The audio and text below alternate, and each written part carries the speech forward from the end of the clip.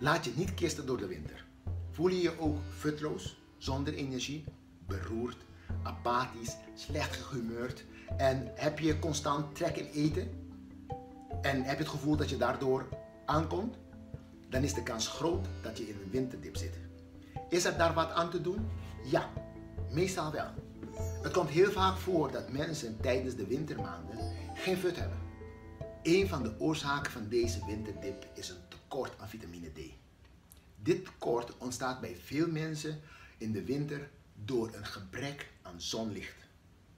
Vitamine D zit in onze voeding, maar deze voedingsmiddelen bevatten echter over het algemeen erg weinig vitamine D. Iets meer vitamine D vind je in bepaalde vissoorten, zoals uh, paling, makreel en zalm. Trouwens, wist je dat in Nederland vitamine D aan margarine, halverine en bak- en braadproducten wordt toegevoegd? Maar zonlicht is de belangrijkste bron van vitamine D. Ongeveer twee derde deel van de hoeveelheid vitamine D die je dagelijks nodig hebt, wordt op deze manier aangemaakt.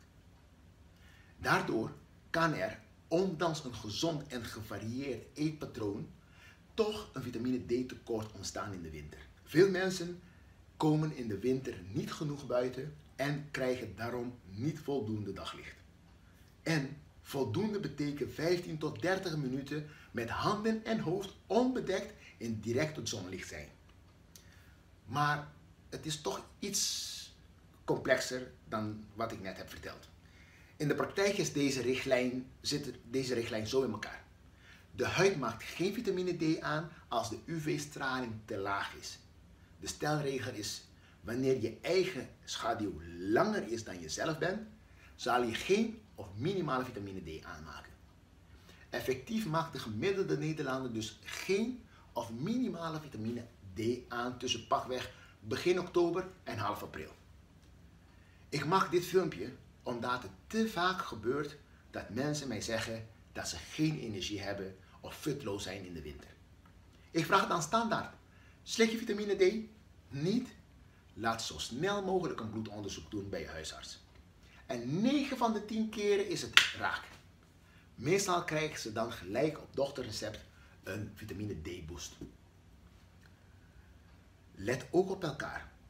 Als je je collega's, vrienden, familieleden hoort klagen dat ze langdurig geen energie hebben, zich beroerd voelen, slecht gehumeurd zijn en prikkelbaar zijn, dat ze constant honger hebben en daarom het gevoel hebben dat ze aankomen, vraag dan of ze zich hebben laten controleren op vitamine D.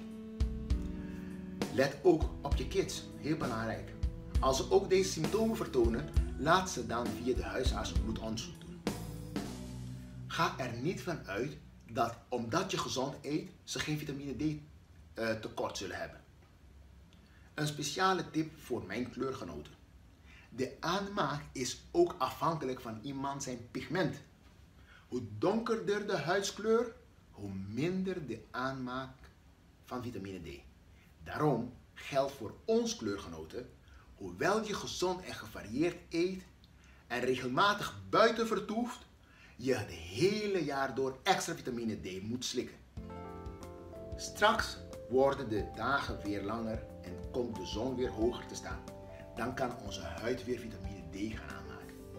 Maar, maar, vergeet niet dat zonnecrème de aanmaak van vitamine D blokkeert.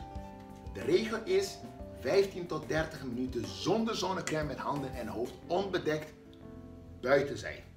En daarna pas ter bescherming insmeren. Niet alleen maar gesluierde en donkere mensen krijgen dus vitamine D tekort. Maar zoals onderzoek laat zien, hebben miljoenen Nederlanders 50 tot 80 procent een tekort aan vitamine D. Trouwens, het aanvullen van je vitamine D tekort is niet het enige middel om een winterdip te verslaan. Lichttherapie is ook heel effectief. En een combinatie van deze twee nog effectiever. En vergeet niet, ga sporten.